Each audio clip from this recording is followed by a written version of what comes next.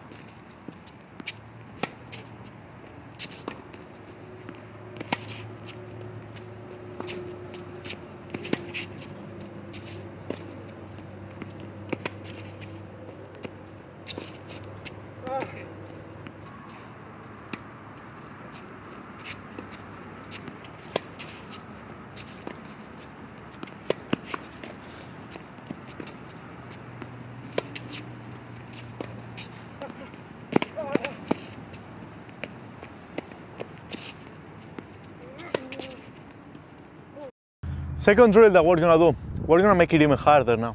We're gonna keep rallying with the forehand crossfield, but this time, what we'll have to do is we have to recover all the way to the cone and then go around the cone and go back. Okay, so we're gonna be rallying forehand cross. After I hit every forehand, I'm gonna need to go to the cone, go around the cone and then go back, hit the next forehand, open stance, control your balance, okay? Don't forget, hit that forehand stance, then stop, recover with a crossover step and go around the cone quick, and then keep doing that to keep the rally going. So you're gonna make sure you recover quick, and you're gonna also make sure that your balance is very low as you record. You don't wanna be here very high because you're gonna lose your balance. And the same when you are hitting. You are hitting, make sure you stay low in order for you to control your balance. So if you feel like after you hit every forehand, you are losing your balance to the side, try to put the, your balance a little bit lower and that's gonna help you out.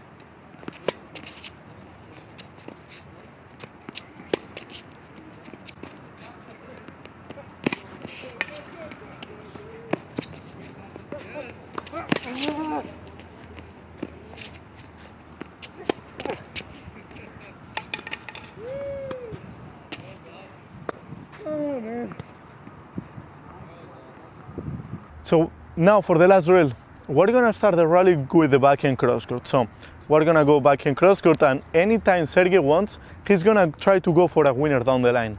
What am I gonna do? I'm gonna run to that ball, get into position in open stance, hit the cross court top spin ball that we have been working on, and get back into the point. So after that, we're just gonna play the point out. Very important. Keep that ball, hit that ball high and deep in order for you to go back into a neutral position. If your ball is my ball is short, what is going to happen is he's going to be in offensive situation and I'm going to keep running. And that's exactly what we're trying to avoid. So make sure you hit a heavy top spin ball cross court, get back into a neutral position, and sometimes even in an offensive situation if your ball is good enough and he gives me a short ball. So make sure you work on that. And right after you hit, now this time you're not gonna have to recover all the way to the middle. If you recover a couple of steps somewhere around here, it should be good enough as long as you go cross court. Now, if that difference, for any chance you go down the line, you're gonna need to go all the way to the other side. So make sure you don't go down the line or you are gonna keep running. And we are not doing cardio tennis right now, so I would not suggest you to try to do that.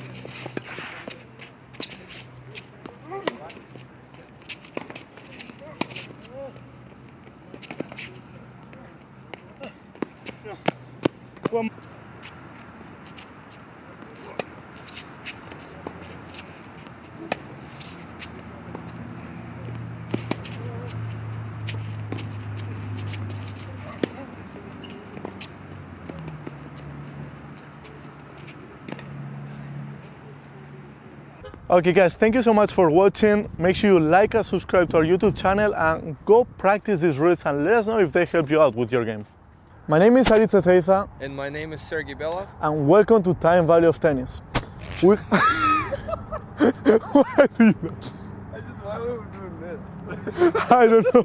we're just like, my name is, my name is Sergey Belov. and now...